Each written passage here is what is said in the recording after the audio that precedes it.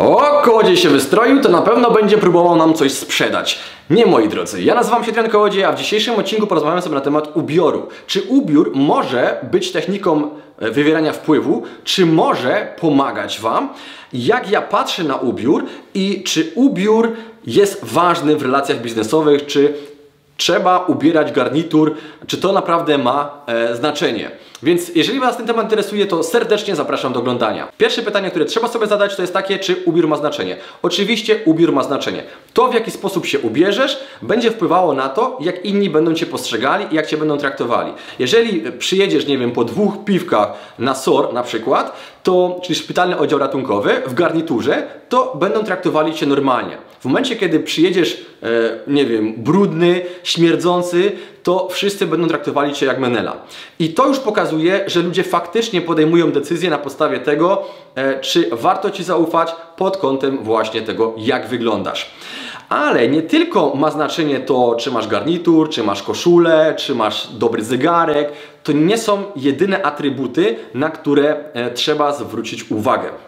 I chciałbym Wam pokazać bardzo ciekawą rzecz. Nagrałem wideo, w którym ubrałem się w dres i wziąłem mojego psa.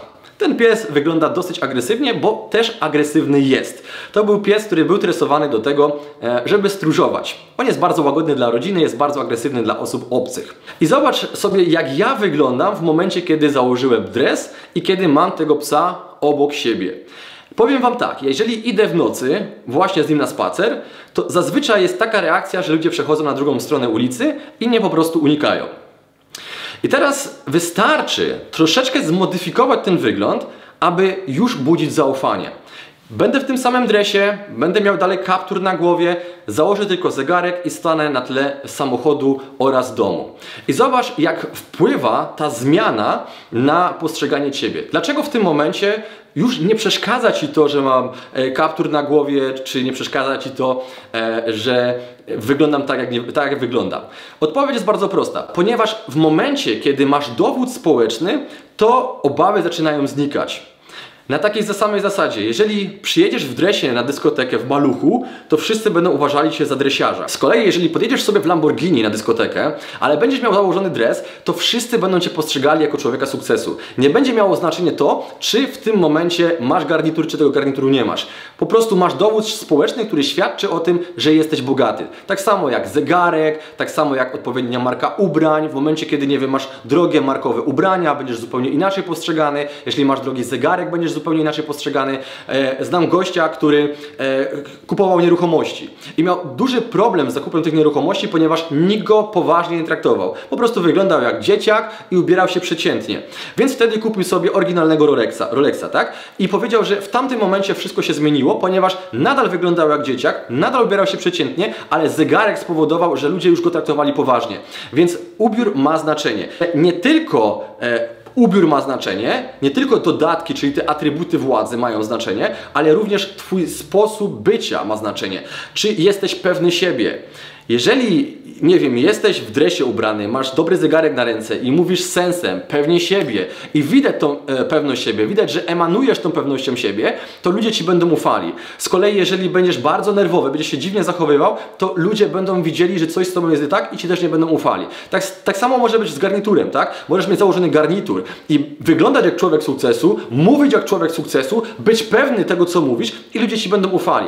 Ale jeżeli będziesz się czuł niepewnie, to ludzie będą myśleli sobie, kurczę, z tym gościem jest coś nie tak. Nawet sposób, w jaki siadasz, będzie miał znaczenie. Jeżeli ty siadasz tak, tak, i wyglądasz jak bardzo niepewna siebie osoba, to ludzie cię też tak będą traktowali. Z kolei, jeżeli ty siadasz pewny, zajmujesz sporo miejsca, yy, powoli gestykulujesz, automatycznie ta pewność siebie e, będzie emanowała z Twojej osoby, a ludzie będą e, traktowali Cię tak, jak po prostu chcesz. Jeżeli jesteś doradcą biznesowym albo działasz w branżach inwestycyjnych, to powinieneś w odpowiedni sposób się prezentować. Ale hola hola, dlaczego ja w każdym nagraniu wyglądam dosyć przeciętnie, nie zakładam, nie wiem, drogich zegarków? Dlaczego tego nie robię? Odpowiedź e, nie jest taka prosta. Jest kilka czynników, które na to wpływają. Po pierwsze, jeżeli popatrzysz sobie na moją branżę, to większość ludzi próbuje wyglądać w niej, w niej dobrze, tak? Czyli drogie garnitury, drogie zegarki, e, samochody i tak dalej. Czyli pokazują atrybuty swojej władzy i mówią: hej, zaufaj mi. Ja z kolei wyglądam dosyć przeciętnie, dzięki temu automatycznie się wyróżniam. E, to jest bardzo trudna strategia e, z tego względu, że jeżeli e, ktoś pierwszy raz mnie widzi, to może stwierdzić, a kim ty w ogóle jesteś? Dlaczego w ogóle miałbym ci ufać? Dlatego bardzo ważny jest twój content. Jeżeli ten content jest dobry, to nie będzie miało znaczenia to, w jaki sposób właśnie się ubierasz. I jest właśnie kolejny punkt, na który zwracam uwagę, jest taki, że ja chcę zainteresować ludzi kontentem. Chcę, żeby ludzie przychodzili do mnie nie ze względu na to, że jest jakaś rozrywka, tylko że jest mega zajebisty kontent. Ludzie mówią, kurczę, ten gość gada sensem, on wie co mówi, jest ekspertem. Więc to jest kolejny powód, dla którego to robię. Następny powód jest taki, żeby ludzie nie kwalifikowali mnie jako kolejnego guru, który sprzedaje kursy Make Money Online, tak? Czyli y, jeżeli, y, zauważ sobie ten sam schemat. Zazwyczaj ludzie dobrze wyglądają i sprzedają kursy o tym, jak zarabiać w internecie. I gdybym ja założył garnitur, to nawet gdybym powiedział jakiekolwiek słowo, ludzie by już mówili o kolejny guru, dlatego że oni mają pewne wyobrażenie, jak ci guru wyglądają i automatycznie w tym momencie chcieliby mnie do tego e, przypis, przypisać. No i kolejny powód jest jeszcze prostszy, jeszcze bardziej banalny. Po prostu tak mi wygodniej. Nie mam czasu na to, żeby, nie wiem, spędzić E, pół godziny na prasowaniu koszuli, nie mam czasu, żeby zajmować się tymi wszystkimi głupotami. Wolę siąść, włączyć e, mikrofon, włączyć kamerę i nagrać dla Was kolejny odcinek, który będzie merytoryczny, bo to na czym mi zależy to jest przede wszystkim merytoryka. No nie oszukujmy się, moje reklamy biegają w całym internecie. Ludzie wiedzą jak wygląda mój dom, e, wiedzą ile zarabiam i wiedzą, że mam po prostu pieniądze, więc nie muszę im tego udowadniać. No, więc to jest też kolejny powód, dla którego ja nie muszę wyglądać tak samo jak wszyscy.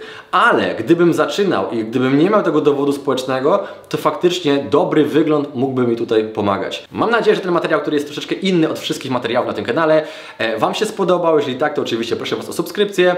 Jeżeli potrzebujesz mojej pomocy w biznesie internetowym, pod tym nagraniem masz link, który prowadzi do bezpłatnego treningu. No, a ja idę się przebrać.